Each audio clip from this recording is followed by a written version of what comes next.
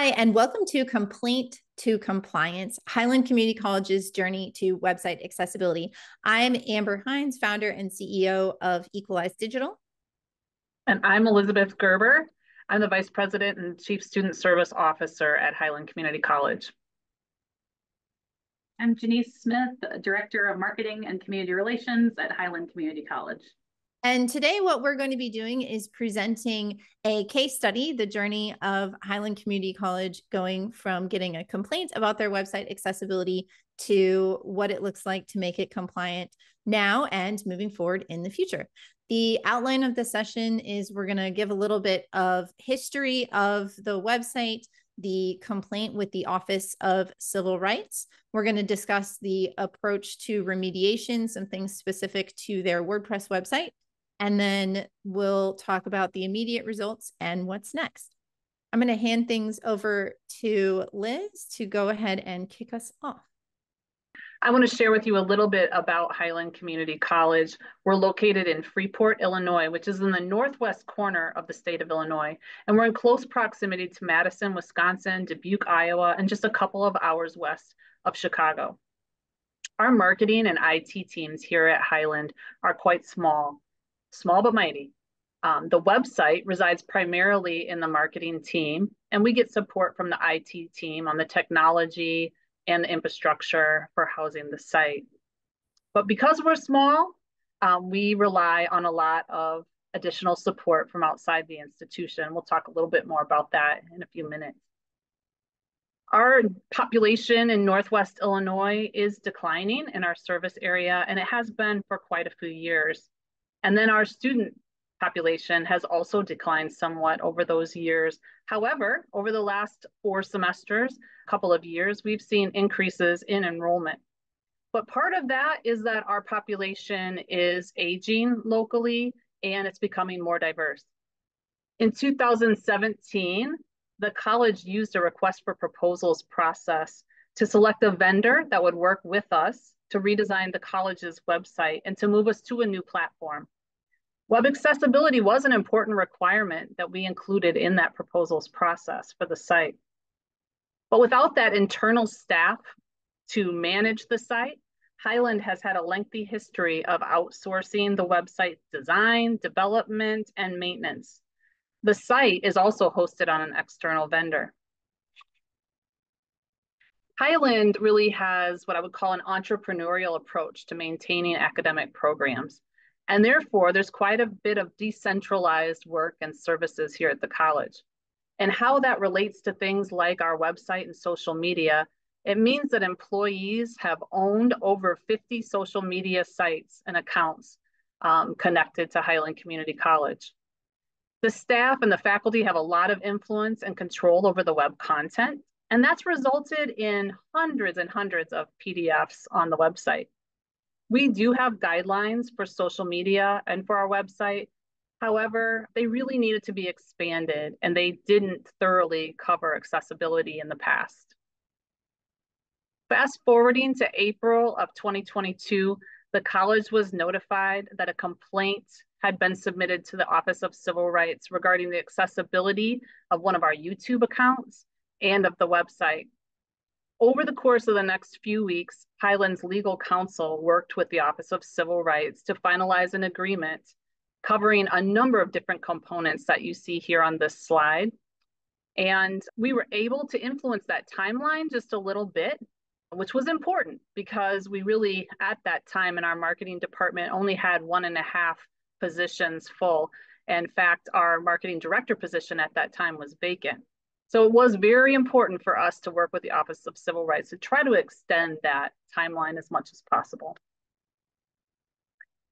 These are a number of things that we have done and were required to do by the Office of Civil Rights.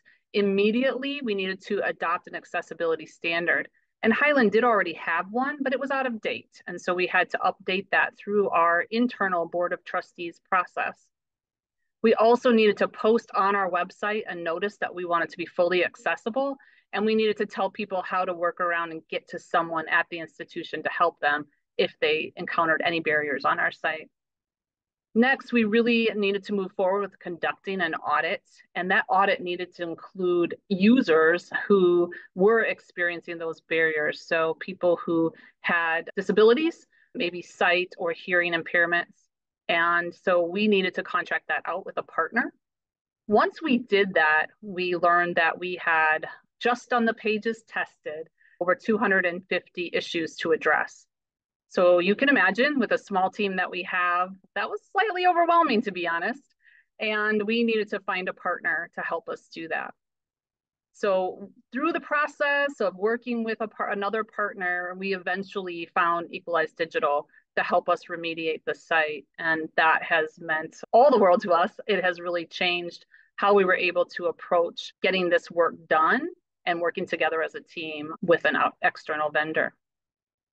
We also needed to update all of the protocols for our ongoing testing of the site and ongoing remediation that of course will continue for forever really because we now are fully aware and fully understand how to maintain our site and how any new components that come onto our website need to be accessible. So we also needed to develop that plan to maintain those accessible features and that includes any third-party vendors that we would be partnering with to operate the site. So, I'm going to talk a little bit about how we worked with Highland to help them make their WordPress website accessible. My company, as I mentioned, is Equalize Digital. We are a mission driven organization that focuses on WordPress accessibility. We do accessibility audits, user testing with people who are native users of assistive technology, accessibility remediation, custom WordPress development from an accessibility first perspective. And we have a WordPress plugin called Equalize Digital Accessibility Checker that helps put reports in the dashboard. We also run the official WordPress accessibility meetup, and we are on the core accessibility team. So we're very embedded in WordPress and focused on making WordPress websites more accessible for everyone. When Highland came to us, they had already had an audit done, as Liz mentioned. And so, what we needed to do was set up a foundation for going through that audit. It had been done by a company that wasn't specialized in WordPress. And so, some of the issues or reports were more generic and they didn't have really detailed guidance on how to actually implement fixes for the issues that had been identified. So, what we did was work first on setting up a foundation for making those accessibility improvements and then maintaining the site over time. Highland did not have a staging site set up or any sort of GitHub repositories or a version control process for managing the changes to their themes. So we set that up first. It's really important when you're making code changes to the theme to be able to stage them and look at them somewhere else out of the public eye because obviously we want to help Highlands maintain their brand reputation online. So so we set that up first. And then basically we had a Kanban board which I have a screenshot of this on the slide. It had a place where at the top we could log all of the accessibility issues that had either been identified via their pre-existing audit or things that we identified while doing our audits or user testing on the site as well. And then we had columns as we moved things through the process. So we would put a tile into remediation in progress. Once our dev team had remediated that issue in the theme, or if it was in a plugin, or sometimes we did reach out to other third party plugins and report issues to them once it was remediated, it would get passed over to internal QA. And then from there, it sometimes just got approved for production and went live. Other times we had to put things into customer review. So there are some changes that are just semantic HTML, changing a div to a button, for example. It didn't have any visual change to the front end of the website. So that was something we could just release. Other times, there were things that did have a visual impact on the front of the website. For example, fixing color contrast, where we needed to have conversations with Highland about the contrast changes. And as a result, those would frequently go into customer review. They would look at what we did on the staging site, and then we talk back and forth about if that was the approved. And then if not, we might make addition, additional adjustments or we would go ahead and then move it and push it live to production. So a big thing to think about this process is that we were continually iterating and moving through issues and releasing them as we could, as fast as we could, rather than trying to say, okay, we're going to do a complete overhaul of everything and save everything to go live all at once, because our goal was to try and make it as accessible as fast as possible. So, with that, once we had established that this was going to be our remediation process, we then had to identify priorities and strategically roll out these fixes over time. So, priorities being, for example, things that were in the header, fixing the navigation menu is a key. There was a lot of issues with the navigation menu in the existing theme where the drop downs, for example, couldn't be accessed with the keyboard alone. So, things like that would take high priority because they impact every page on the site versus maybe a link to a PDF that wasn't identified as a link to PDF on one specific page, that's a lower priority in that way. So, talking a little bit more in depth about this, the other examples of priorities were the navigation, search, sidebar heading structure got flagged in the audit, footer elements. I've mentioned previously looking at color contrast. So, we had to do a lot of work on ensuring there was color contrast. The website didn't previously have focus indicators, which are the outlines that you see around elements as you tab through the website using the tab key. So, making sure that those were there, adding underlines to the links so that we weren't using only color to differentiate when something was a link or an interactive element.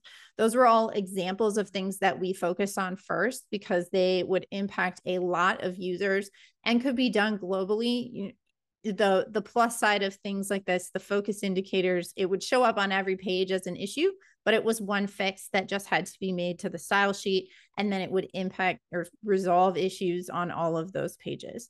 Um, i do think it's really important if you are having an audit that you are cognizant of this and hire an auditor who is also aware of the way WordPress works with the templates, because there were some instances where we saw that something had been reported and it was listed as there's 50 of these problems, but really it's only one problem that was seen on 50 pages, as an example. And so sometimes if you have someone that's not as familiar auditing with how WordPress works, they might overstate the problem. So I think that's something good to be aware of. The other things that we looked at as priorities were items that were requested by or specific pages that were flagged by the Office of Civil Rights. So anything that they had specifically highlighted when they did their initial audit during the complaint, obviously we prioritized all of those things. We looked at the pages that we knew that they were going to be re-reviewing and went through those. And then we went through as we were doing it and we broke out all of the issues and we identified is this the source of the issue that it's coming from the code? So it's something in the theme or a specific code that had been inserted in, but not coming from a third party plugin, for example. So this is code that we can fix pretty easily and that our dev team would need to work on. And then we looked at issues that were coming from the content. So things like perhaps a user had set the wrong heading level in the editor when they were editing a post or a page. So it's helpful to break that out because some of those items were things that the Highland team could go through and work on their own. Missing alt text is another example of that, or links that have ambiguous text. Click here versus a link that meaningfully says something. So we looked at that. What can we do? What can the Highland team do? And then we also identified any issues that were coming from third party code, which we'll talk a little bit more about that. And that could be a third party WordPress plugin, or it could have been something that was a third party SaaS that Highland was using. So in WordPress specifically, what we did was we added our Equalize Digital Accessibility Checker Pro plugin. That includes full site scans and allows you to track changes over time, which was nice because it allowed us to get a graph and start to see as we're fixing problems. I have a screenshot here. This is not from Highland's website, it's just a sample website. But when I was talking about problems coming from code versus content, this was really helpful because it will do things like there is, like I mentioned, images that were missing alternative text in this specific screenshot. There's 531. And so a content specialist from the community college would be able to go in and find all those without having to click on every post and page and figure out does this image have alt text or not. It would just say, here's all the posts or all the pages where there are images, and here's how you find them. So that helped us with speeding up some of the remediation, especially on the content side. We also added a couple of plugins that would do specific things to help with accessibility in WordPress.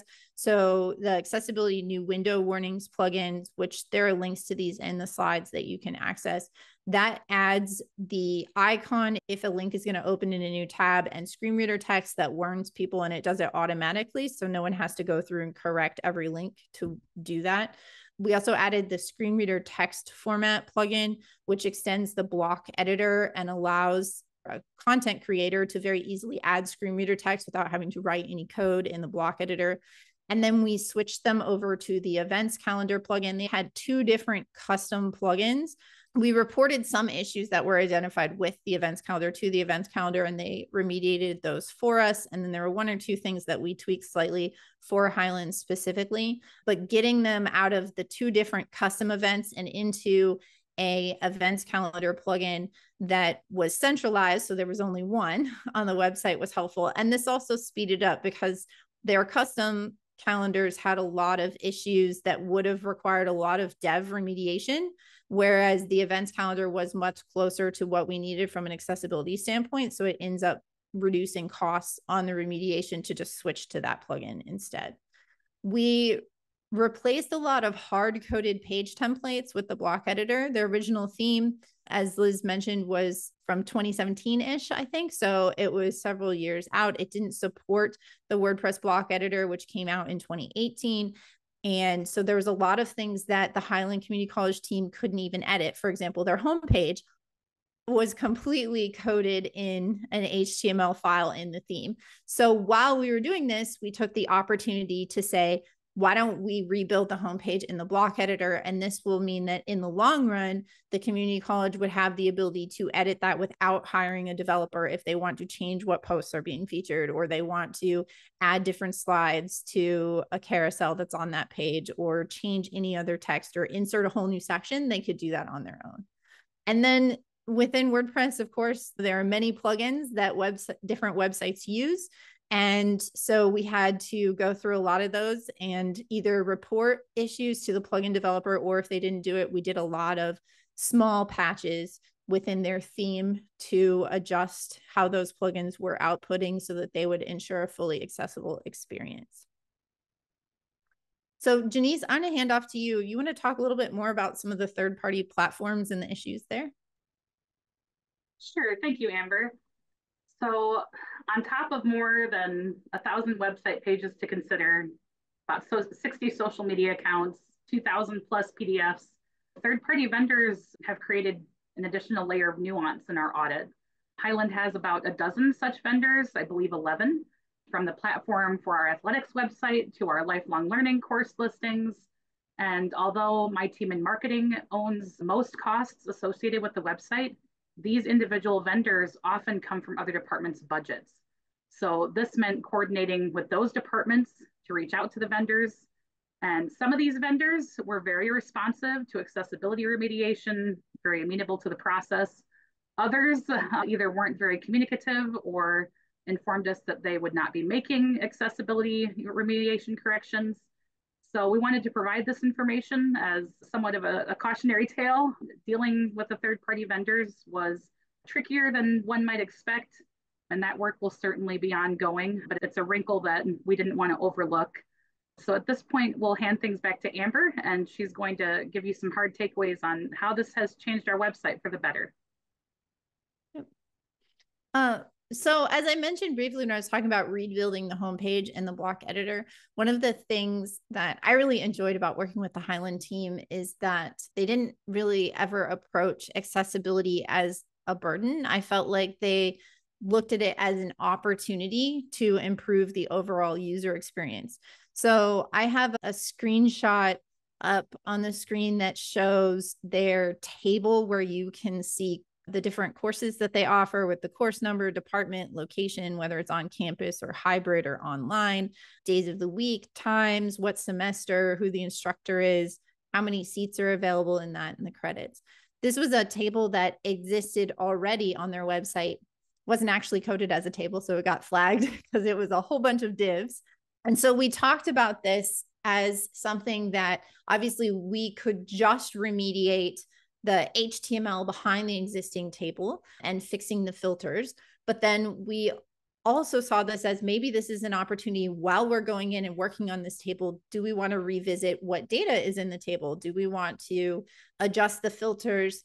As seeing this as an opportunity to make this even more usable to students. So that was something that I thought worked out really well with this partnership and the different things that Highland was doing was not just remediating accessibility but also going and figuring out how can we make the website more usable for everyone overall, even typical users, getting that information in front of them. What is really neat though, I think about this and I'm going to change slides in just a minute. But overall, we didn't do many design changes to the Highland website outside of the color contrast or a few things like let's add a, a time of day filter or something like that. Um, really, we were changing a lot of underlying code and structure, not a lot of content or a lot like there wasn't like okay we're going to add whole new sections of content or that sort of thing and in fact in some places i think even some content that was old or out of date maybe got removed rather than remediated because it was realized nobody used it um, so from a standpoint of looking at what the impact was I think it's really interesting because a lot of people wonder how helpful is accessibility to SEO. Uh, so I dove into Highland's Google Analytics account and found some interesting numbers. So, in the last six months, looking at this from December 2023 to May 2024, compared to that same time period the previous year, we saw some interesting gains given that there wasn't new content added, there wasn't a complete design overhaul or anything like that. All we did was change that HTML architecture behind the code. And so what we see in that time frame compared to the same time frame in the pre- previous year was 15.1% increase in unique users visiting the site, an average of 1 plus minute increase in the time that they were on the site and an increase in of 1.7% of page views, people viewing the apply online page, which is a page that I figure is probably pretty important to the community college. So I think this is a really interesting look at how making some of these accessibility or navigation structure improvements can actually help with organic SEO and making the website rank better and getting more people on it and having them stay on the site and actually go to the pages that you want them to go to. Jeniece, do you want to talk more about some of the how you felt these impacts internally? Certainly. Seeing those website analytics is such an encouraging reminder for our team at Highland. That's I smile every time I see that slide. we don't want to be disingenuous here and paint too rosy a picture of how all this hard work has gone, but we took this audit very seriously and we also decided we were going to make the most of it and create some positive changes. Uh, from a personal standpoint, as a, a, somewhat new director who walked into my role just weeks after we were contacted by OCR, I feel as though this audit could have spelled failure really easily. And here's here are a few of the reasons why I believe it didn't and what we might recommend to others in our situation. So this slide demonstrates some of the more holistic results we've pursued on campus. If you're fortunate, you'll have a VP like Liz who is willing to champion your cause she leaned into stakeholders across campus to build a steering committee, relying on expertise from my team in marketing, ITS, and even an information technology faculty member to serve as our resident expert. And this group not only broke silos between our individual departments on campus, it also laid a lot of groundwork for us to make remediation a true shared governance process. Uh, broadening our scope this way at Highland uh, made our work so much more collaborative and it helped us gain buy-in from leadership this was important because to sustain this work long term, we really needed to increase our budget for work on the website and also devote more staff resources to multimedia. Uh, a few months after we made that new hire, uh, she and I attended a conference for community college marketing and PR professionals. And she found that we were really far from alone in, in what we were going through. Um, there are more than 200 other community colleges that were recently targeted uh, for audits by OCR. And I, the logic for this is honestly compelling. Community colleges are, are truly meant to be a community's college. And our mission includes serving historically marginalized populations of all kinds, uh, including those with disabilities. So um, it's incumbent on us to show people uh, who may choose a community college over a four-year um, for accessibility reasons that they do belong here and that we're here for them. So as I've shared, if you're going through an audit like this one, the mindset that has worked for us is uh, to look to how we will create a sustainably accessible future, not just getting through the audits and moving on. Um, and this was so much more than a review of our website.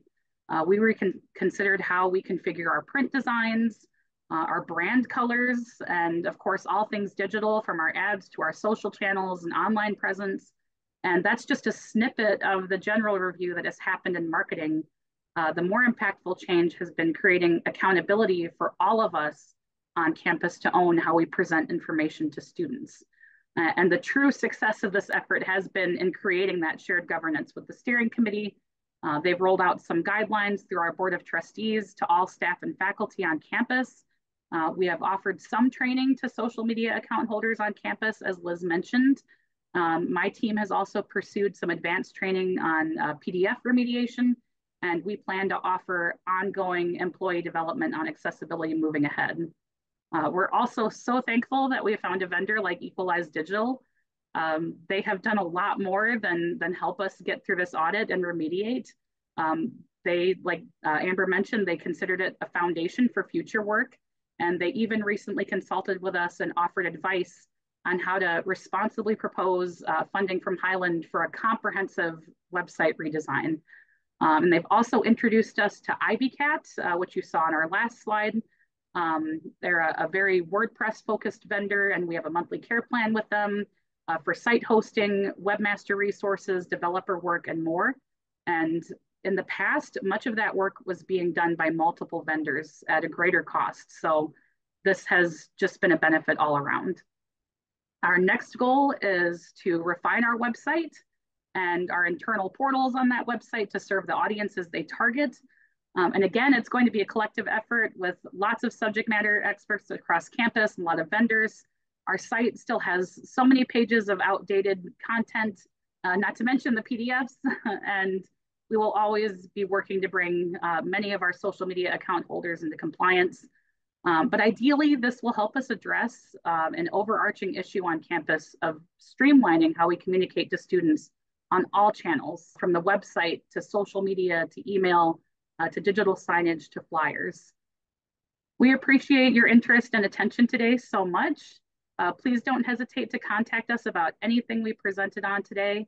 Um, our emails and some of our other handles are on this slide. And thank you again so much for your time.